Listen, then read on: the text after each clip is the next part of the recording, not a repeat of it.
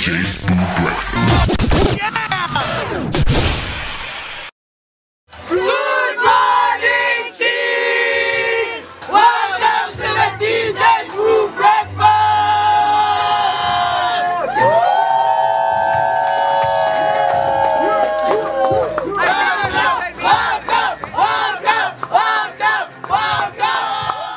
welcome! Hi guys! I'm just posting some exciting things that um, the Massiv family did for me when I walked in. So check out my Instagram and then we're gonna live Instagram. I learned about it the other day, so it's exciting.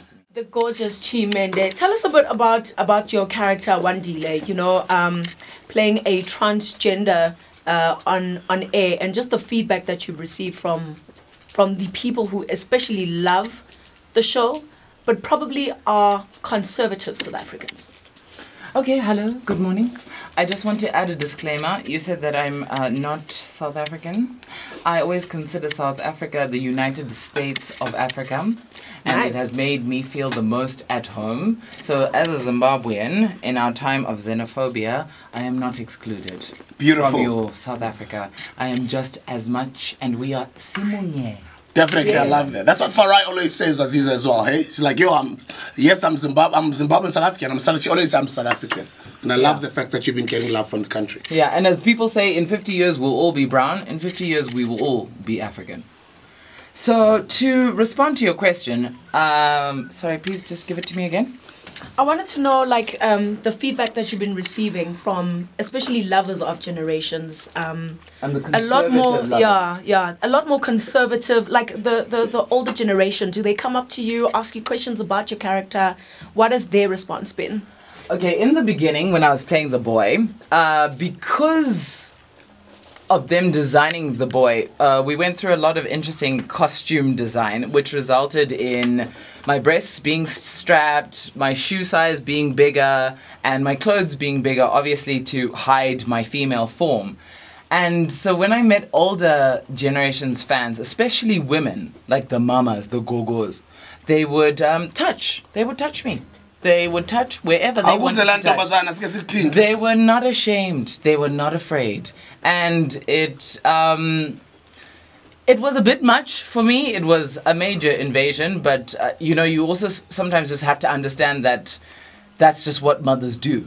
And with the conservative types, I almost feel like I haven't, as an artist, as a character on the show, I don't think my following is conservative.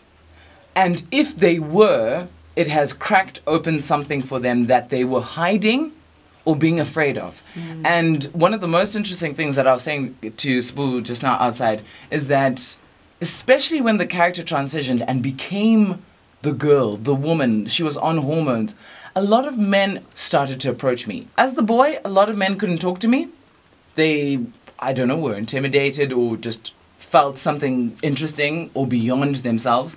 But once i started playing the woman i think th- as they understood me as a female performer they felt that they could approach me. But one of the most interesting things that was exposed to me is their sexuality. Men started talking to me about their gay children, their transgender children, and their own desires and interests in actually wanting to perform sex in an alternative way. Um, yeah, just what she said about people, you know, uh, feeling that free to invade your personal space. Yeah. You know, how much of that uh, borders on on on entitlement, uh, you know, to, to, to a female body. Well, apart from the mothers, like I mean, men in, in, in South Africa feel that you know uh, uh, they own Women. Uh, they own women Yeah. And then you know they can uh, do with a, a, a- woman body you know whatever they like.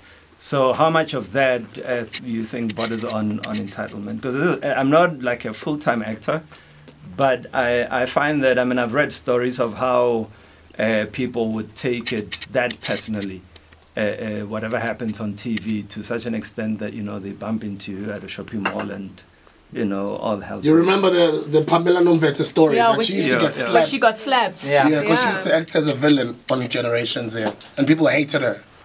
yeah, for, for, for, for that, yeah, because she did it so convincingly, especially when you do something. I mean, I've done a, I've done a show this one time. I stayed in character, but after my performance, somebody thought that I was high on drugs because I did it so convincingly. And whatever you say to that person, you just can't win. They're like, dude, you were high. they, they can't understand the adrenaline and the force that comes Yeah, with yeah, performance. Yeah, yeah, yeah. Um, the entitlement thing has been a big thing for me in general before this role. I think what led me to this role is just my own feminist nature, my own feminist power. Um, I do struggle with the patriarchy.